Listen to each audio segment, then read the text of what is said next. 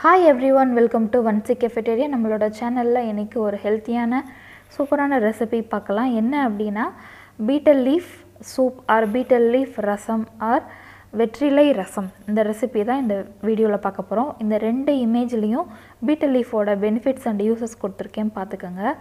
ரசம் செய்கிறதுக்கு என்னென்ன பொருட்கள் தேவை அப்படிங்கிறத நான் சொல்கிறேன் ஒரு ஸ்பூன் மிளகு ஒரு ஸ்பூன் சீரகம் ரெண்டு கார்லிக் ரெண்டு பூண்டு. அடுத்து நாலு வெற்றிலை. அதை வந்து காம்பு நுனி ரெண்டையுமே கிள்ளிட்டு தான் நம்ம எப்பயுமே யூஸ் பண்ணணும். அடுத்து அதை கழுவி எடுத்துக்கோங்க.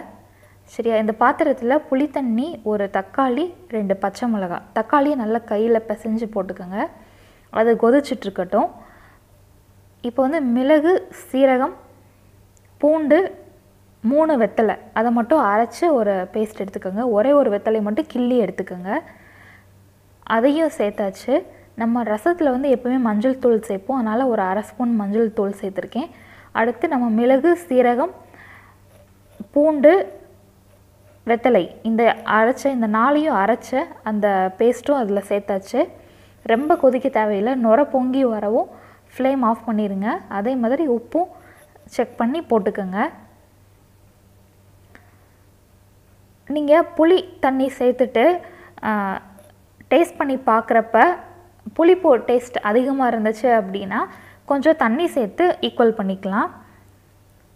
ஃப்ளேம் ஆஃப் பண்ணுறதுக்கு முன்னாடி கொஞ்சமாக கொரியண்டர் லீஃப் போட்டிருக்கேன் நான். இப்போ ரசம் நமக்கு ரெடி ஆயிடுச்சு. ரசத்தை தாளிக்கணும். அதுக்கு வந்து ஒரு பேனில் ஆயில் ஒரு ஸ்பூன் ஆயில் அரை ஸ்பூன் கடுகு கால் ஸ்பூன் வெந்தயம் சேர்த்துருக்கேன். அது நல்லா பொரிஞ்ச பின்னாடி கொஞ்சமாக பெருங்காயம் ஒரு அரை ஸ்பூன் அளவு பெருங்காயம் ஏன்னா ரசத்தில் வந்து புளி சேர்த்து பண்ணுறதுனால அது வந்து ஹீட்டு அதனால தான் நம்ம அந்த வெந்தயம் சேர்க்குறோம். இப்போ வந்து கொஞ்சமாக கருவேப்பிலை. கருவேப்பிலை ப்ளஸ் நம்ம ஒரே ஒரு வெத்தலையை கிள்ளி வச்சுருந்தோம் இல்லையா சின்ன சின்னதாக அதையும் சேர்த்தாச்சு. சேர்த்து ரசத்தில் போட்டுடலாம். நம்மளோட பீட்டல் லீஃப் சூப் ஆர் வெற்றிலை ரசம் ரெடி ஆயிடுச்சு ரொம்ப ஒரு ஹெல்த்தியான ஒரு ரெசிபி இது. நீங்களும் இதை ட்ரை பண்ணி பாருங்கள் தேங்க்ஸ் ஃபார் வாட்சிங்